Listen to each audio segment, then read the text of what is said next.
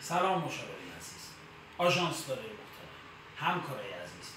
من کیا هستم؟ حتما با من آشنا هستیم کاری که ما انجام میدیم دلالی علمی آموزش دلال علمی روش های اکادمیکی تو هم با تجربیاتی که طی 32 سال گذشته ما تونستیم کسب کنیم کاری که ما به شما یاد میدیم یاد دادن کار خودتون به شما نیست. شما کارتون بلده. شما واریزی دارید.